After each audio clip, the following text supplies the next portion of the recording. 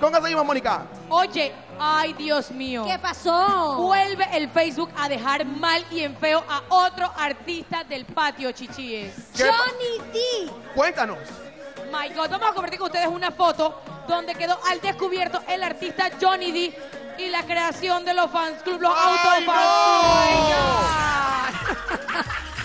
Tu amigo de Facebook, Rafael Pedrosa Torres, usa Instagram como Johnny D Fans Club Official. Oh my God.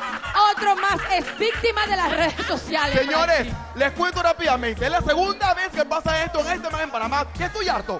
Estoy cansada de que pase esto. Ojo, si usted va a crear su propio fans club, tiene que hacerlo con otra cuenta de- ele- electrónica. Correo. No puede hacerla con la misma que tiene el Facebook. ¿Qué pasa, señores? Les cuento rápidamente. Cuando tú haces una cuenta de Instagram con tu Facebook y la agregas, señores, el Facebook te manda notificación y te dice que la cuenta de Instagram fue hecha con la el mismo correo. Y queda como, queda como un poquitito. Te tiran No. al agua. Ahora, yo no entiendo qué necesidad tiene alguien. Oye, pídele a una prima que te haga el favor, oye. Pero ¿sabes qué? Vamos a escuchar la versión de él porque puede ser como la versión de Chucho Ok. que alguien le hizo y como no y se bloqueó y no sé Mónica. Vamos a ver qué nos dijo. Dale.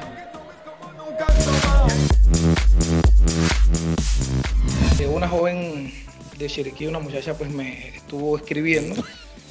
Me dijo que era muy fanática mía, que esto, que, que pues si no me molestaba que ella abriera una página de fan en, lo que es pues, en las redes sociales. Pues bueno, yo le dije, pues mientras, mientras no, no, no sea nada comprometedor, pues este, dale con gusto. Pues la muchacha, nombre ya, ya Dicel creo que se llama.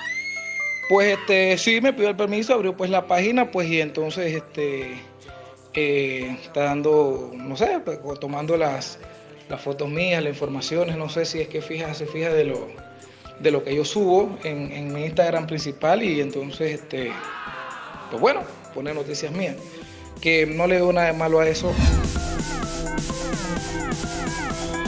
No le creo, no le creo, Johnny D, Yo qué pena. No te creo, papi, sea hombre y frente como un varón. Y dígalo, sí, yo hice mi fan club y que yo quiero ser más famoso, más popular. Más yo recuerdo a un presentador de televisión Ajá. que hace muchos años atrás, él tenía propia empresa de relaciones públicas Ajá. y él mismo enviaba las notas de prensa. Él mismo. Ajá. Rico. Rico, mana. Él generaba. Es que a veces toca porque no hay presupuesto. Total, total. Pero les quiero contar algo. Hay mucha gente que no sabe todavía que eso sale en el Instagram o en el Facebook porque hacen switch.